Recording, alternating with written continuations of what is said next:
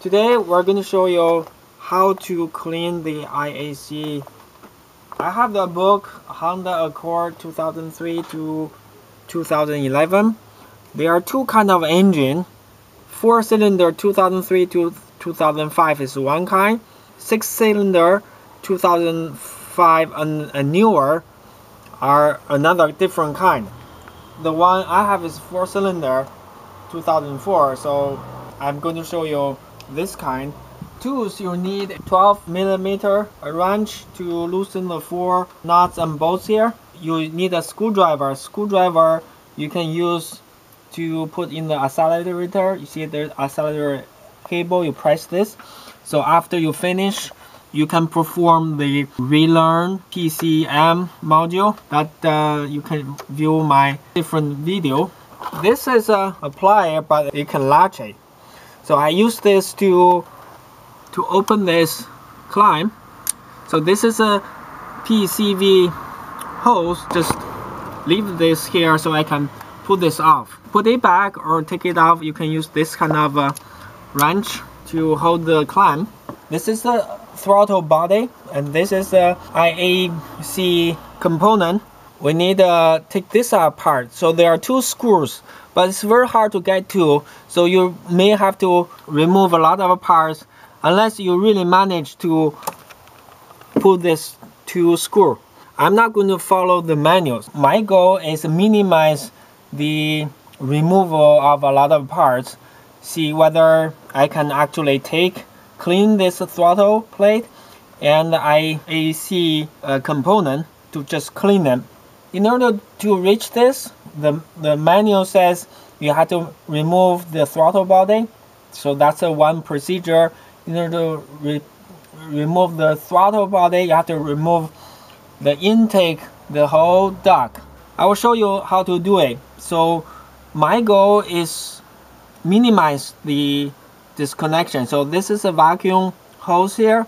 I'm not going to disconnect. I will try not to disconnect and see whether it works. And this is a bypass uh, hose and I will uh, take it off and because I want to re remove this part I have a space to work on this. So I'm not going to remove the coolant hose. There are two coolant hose here.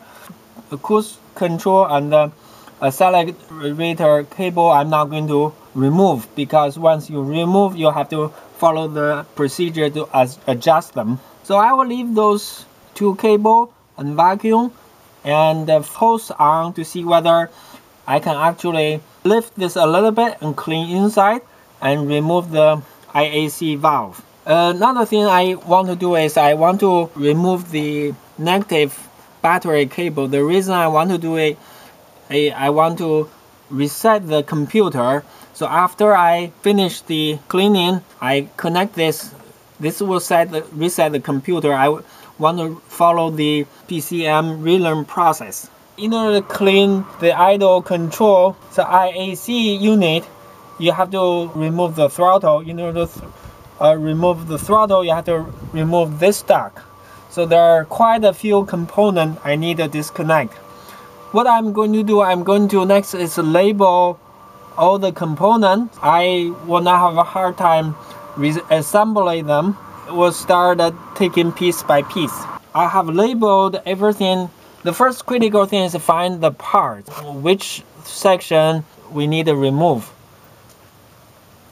So those, those little tags so, are the labels. So yeah, the label. So I'm trying to first step remove this uh, intake, this pipe. The manual calls for remove everything, including this part for adjusting those cables. So I really want to minimize how many of them I need to remove. For example, this is a cruise control cable. This is an accelerated ca cable.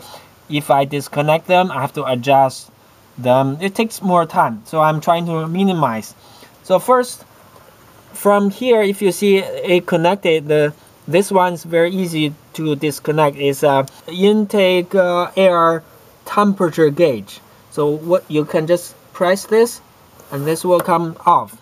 Close to that, this is just a harness. So this is off.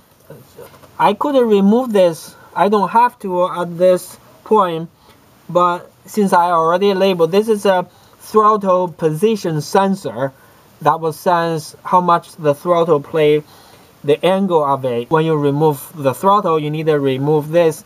But since it's so easy, you just press this, you uh, take it off. So this uh, will not be in the way. Next, remove this screw. You don't really need to remove it. You just need loosen. Once it's loosened, you just pull this, uh, it will come off. See, this comes off. See, this is the throttle, and this is the part we are trying to move. But I think I will just remove this so I can see better, even though uh, I don't have to. I like also clean this. So this part is intake air bypass control thermal valve hose. So this hose, I just pull this. See, it's not too hard. I can pull this off. Another connection is this one. So there are two clamps here. The book doesn't say which clamp. I think it's this clamp. This clamp is thicker. And I'm going to pull this down and and wick this out. See, this is connected. And I disconnect. Disconnected.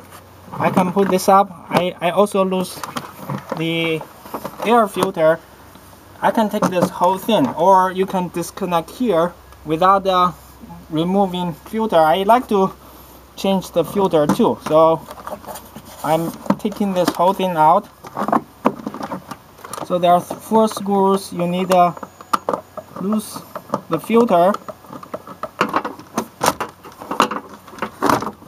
so this is an air intake assembly so I took that out. I will try to clean and change the filter. Filter is here. It's uh, not that dirty, but either clean it or just replace it. This is the coolant hose. If you disconnect them, you could, may have a spill of coolant.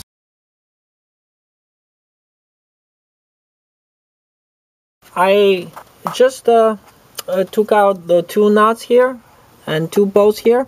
Now see here's a loose but it's still connected uh, so there are two coolant and there's a, this is the vacuum let me take this off first what easier. are you taking off this is uh, just connected this electric wire. Now there's a thing. See I press this and press down. Okay so now it is connected. And this is a electrical connector.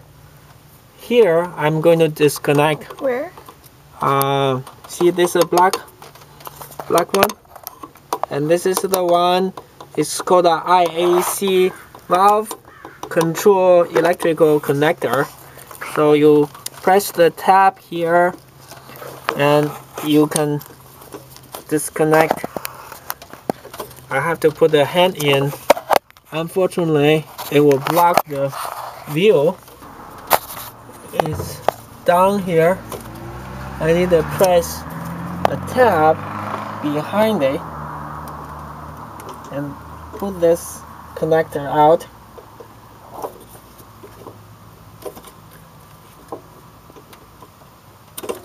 see it's it's pulled see this is the connector so once it is disconnected this is an accelerator cable and cruise control the, the accelerator cable and the cruise control? Control cable. The okay. two I haven't disconnected. I'm trying to see whether by pulling this out, I could uh, manage get the things clean without disconnecting all those five cables. You know, this is a coolant, this is a, another coolant, and this is a vacuum. It's not easy. okay so I managed uh, to bend this this way and I could clean the backward uh, easily so this is a throttle this is the uh, throttle position gauge that will see how how far this throttle open what I need to do is disconnect this this part which that, part? This is for the idle air control valve. So that's what I'm going to do next. So I managed to put this uh, idle control unit out. There's only two screw One is here, one is there. It's not hard to take it out like this. And there's a little bit spillage coolant. See, I still have a coolant hose connected and the two cable, cruise control and the accelerator cable and also the vacuum. So what I'm going to do is clean those two parts. The first part we need to clean is the throttle and uh, watch the throttle see? When the throttle is open um, you see uh, very dirty here. So I need to clean this. So what I do I use a carburetor cleaner.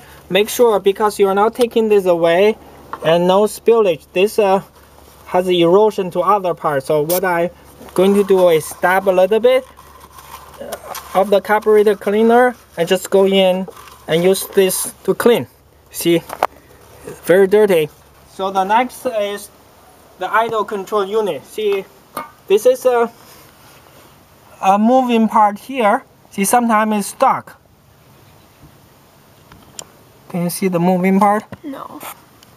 Yeah, it's, the lighting is not good. But you just need to spray. Spray and clean them well and take the take the sealer they recommend to have a new sealer but I think this is uh, still okay. I'm going to reuse it. So I'm not really following the the procedure. You should follow the procedure. If something wrong I can reopen and shoot another video. I just put everything back. So this is the last bit. I just need to tighten this. There are two parts was a little bit difficult. The first part was remember the rubber sealer in in between the uh, throttle body and the IAC because the way you install is vertical like this. So it's pretty hard to put it back. The rubber seal may fall off. It was a little bit difficult but I managed to put it back. Move this maximum horizontally and put this back. If you can do it, then you really have to move, remove all the hoses and lift this, turn this, the throttle body on the top. Uh, the gravity will make sure that rubber seal doesn't fall off. So that's first uh, difficulty. The second di difficulty is this part is really tight. So I have to use the climb like this and really wiggle this back in. But besides that, uh, a little bit uh, unexpected, everything looks fine. So I'm going to connect this battery and then restart the retraining process. That's all cleaning part of the IAC cleaning and throttle plate cleaning.